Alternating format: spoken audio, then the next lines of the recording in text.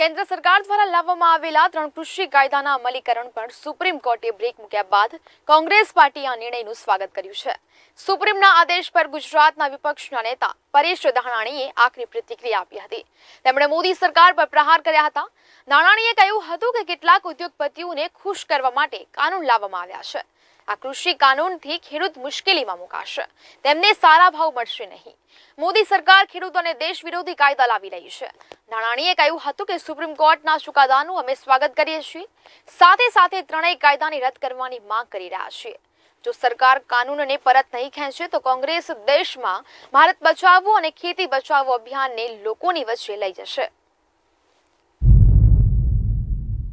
ભારતીય જનતા પાર્ટીની સરકારે મુઠ્ઠીભર ઉદ્યોગપતિઓને માલામાલ કરવા માટે આ દેશની સંસદમાં ઉપલા ગૃહની અંદર બહુમતી ન હોવા છતાં અસંવિધાનિક રીતે પસાર કરેલા ખેડૂત વિરોધી કાયદાઓ, દેશ વિરોધી કાયદાઓને નામદાર સુપ્રીમ કોર્ટે આજ રોક લગાવી છે. કમનસીબે લોકોના દ્વારા ચૂંટાયેલી સરકાર દ્વારા લોકો વિરોધી, દેશ વિરોધી કાળા કાયદાઓ અસંવિધાનિક પરંપરાને અનુસરીને પસાર કર્યા. મુઠ્ઠીભર ઉદ્યોગપતિઓને માલામાલ કરવાનું ષડયંત્ર રચ્યું હતું. એના ઉપર નામદાર કોર્ટે લગાવેલી રોક એ હું માનું છું કે પર્યાપ્ત નથી. આ કાયદાઓથી ખેડૂતોના પોષણક્ષમ ભાવ એ ભૂતકાળ બની જવાના છે. ખેત ઉપજો પાણીના ભાવે લૂંટાવાની છે. નફાખોરી અને મોંઘવારી સતત વધવાની. મોટી કંપનીઓ ખેડૂતને છેતરશે.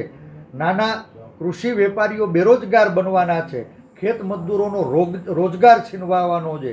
માર્કેટ યાર્ડની જમીનો વેચાઈ જશે. સંગ્રહખોરી અને કાળા બજારી એ સમગ્ર દેશમાં હાહાકાર મચાવશે.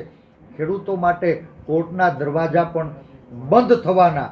ત્યારે નવી ઈસ્ટ ઇન્ડિયા કંપનીઓને નોતરું આપનારા ત્રણ કાયદાઓ ઉપર નામદાર સુપ્રીમ કોર્ટની રોકને આવકારીએ છે. આજ નામદાર કોર્ટે તો આ કાયદાઓ ઉપર રોક લગાવી છે.